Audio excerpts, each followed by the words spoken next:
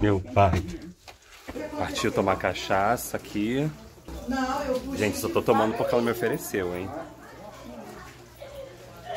A gente ficou ouvindo, né, todo o relato do guia e realmente é bem complicado. As pessoas que trabalhavam ali na mina trabalhavam em condições muito precárias.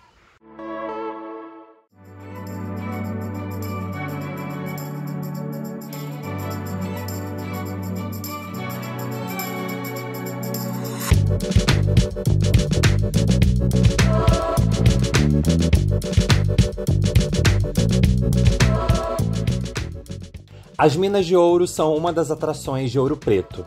Após visitar a mina do Chico Rei, que mostrei no vídeo anterior, foi conhecer outra mina muito visitada na cidade, as minas do Palácio Velho.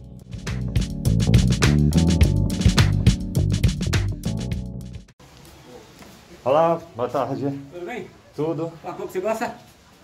Qualquer um, pode ser esse azul aqui. Clarinho? Igual aqui, você?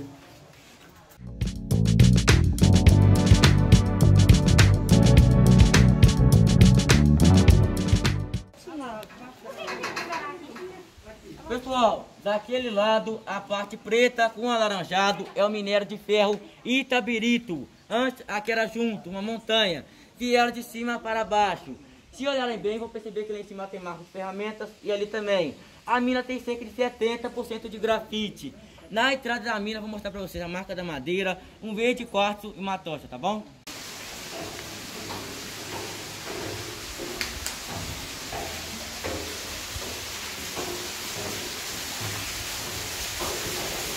Imagem de Santa Bárbara.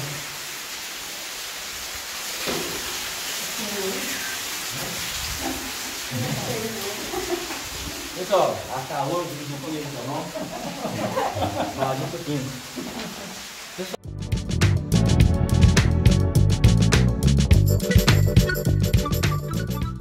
Os túneis das minas do Palácio Velho são mais amplos comparado aos da mina do Chico Rei.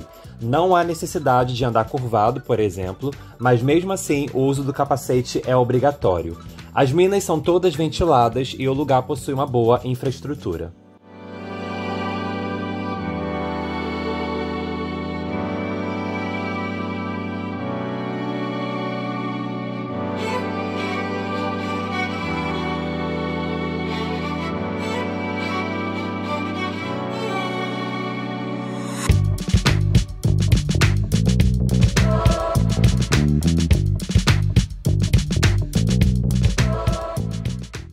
Durante a visita, o guia nos explica como era extraído o ouro, nos mostra quais ferramentas eram utilizadas e fala também sobre as precárias condições de trabalho da época.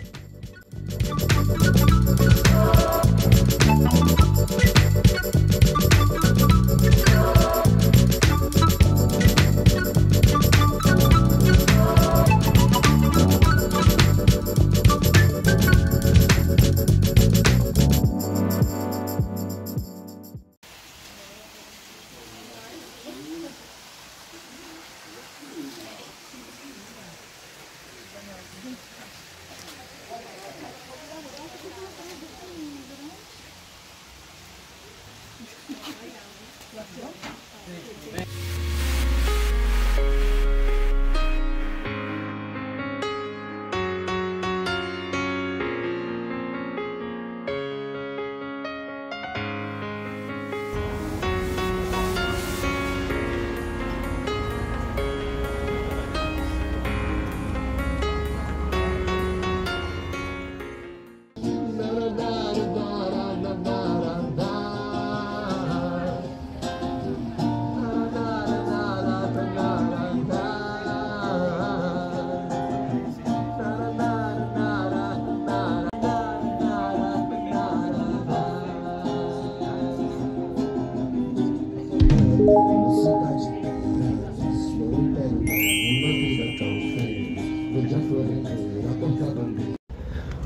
Bom dia, gente. Já é um novo dia.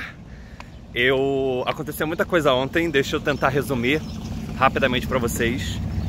Depois que eu saí da mina, das duas minas que eu visitei, eu fui almoçar, encontrei alguns amigos que vieram para cá para passar o, a segunda-feira. Então eu almocei com eles.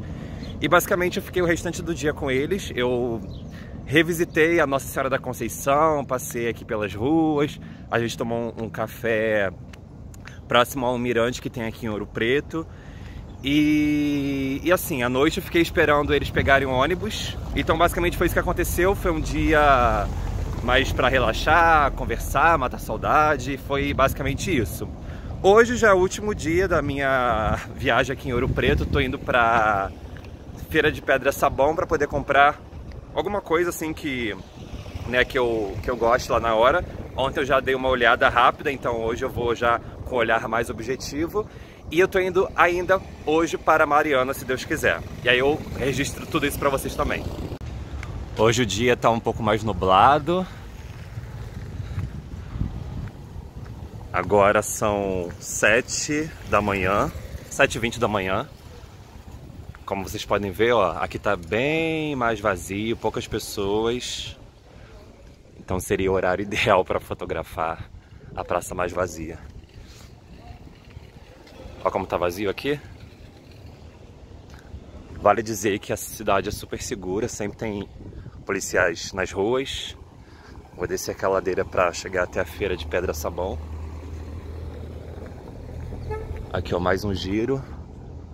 Aqui é o monumento em homenagem a Tiradentes, ali o Tiradentes lá em cima. Aqui costuma ficar várias pessoas vendendo miçangas, bijuterias, cordões, anéis. Essa ladeira normalmente costuma estar bem cheia, bem movimentada.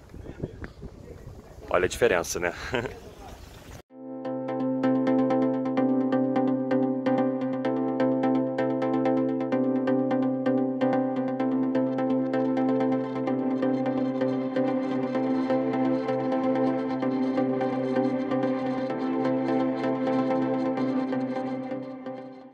Vista aqui do alto, aqui é a feira de Pedra Sabão, tem um pessoal aqui se movimentando já para o 7 de setembro.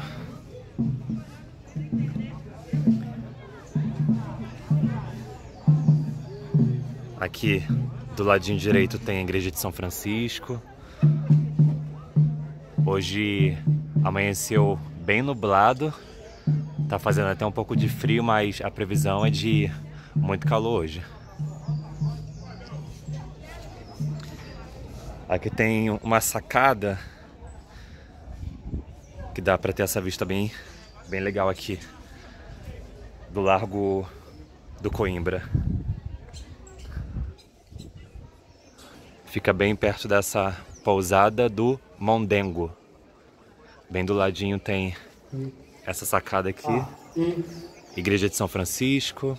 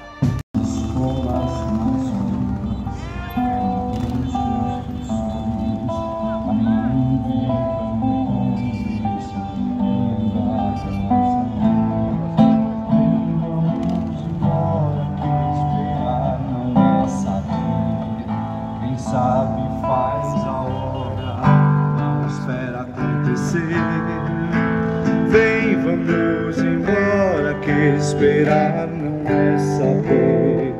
Quem sabe faz a hora, não espera acontecer.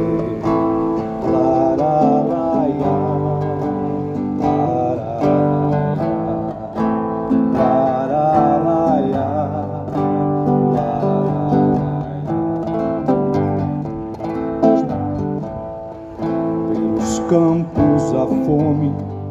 em grandes plantações, pelas ruas marchando Indecisos cordões ainda fazem da flor seu mais forte e acreditam nas flores vencendo o canhão. Vem, vamos embora, que esperar